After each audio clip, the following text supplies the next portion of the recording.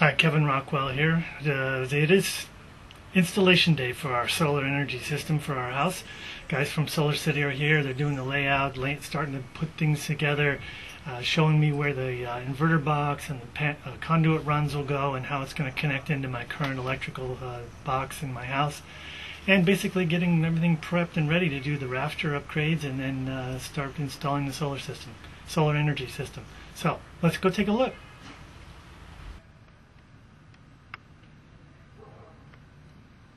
Okay, so th- this is uh, showing right here. We got the front of the house. Here's your main that we just went over where we're going to tie in with uh, our breaker. Um, you got your inverter and your DC disconnect, and we have to have a DC disconnect. So you can see your three different mounting planes. Mounting plane uh, three. Oh wait, is that backwards? Yeah, no. Mounting plane one, mounting plane two, mounting plane three.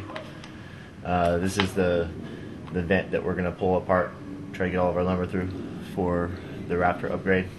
And these will be our conduit runs. You- It's not showing your chimney right here, but that's where we're going to stub out through the roof, through your eave, and down the wall to the inverter. Okay. And um, so this is this way you can see. This this has all of our details for azimuth, zenith, and uh, basically this, this is just to help us with our general layout, so we can go up there and just pull our measurements and figure out exactly where it is, how we can center it, make sure that we're on the money. Two choices. See, it's showing us coming down by this left-hand pipe.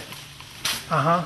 But um, then we have to do a kick out and around uh, th- this drain, and I'd rather. I think it'd look a lot tighter if we came down along the edge of the wall right here, and then I can get underneath the pipe, do a little offset over here into the inverter. Okay. Um, and then we're gonna run our conduit. Um, I think lower is better to keep it out of the eye level, I, and, I, and I can run it all the way along. Say, I could probably drop it down here to your uh, mud seal Mhm. and run it all the way along over here and tie into your main, which is okay. So it shows that we're gonna use the existing breaker here. We're not doing a line side tap or load side tap. So I'll just pull this out and. Uh, name my- we pull off the vent so we can get access, so we can put our so we can get our lumber in there for sistering to the rafters. And uh, just in case the opening, I, I left it here because I'd rather not uh, tear into the roofing material. I'd rather keep the waterproofing.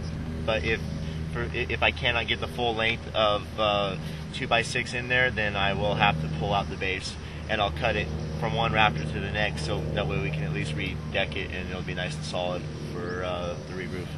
What are the lengths on those 2x6s? Uh, anywhere from uh, 7 to 10 feet, 7 inches.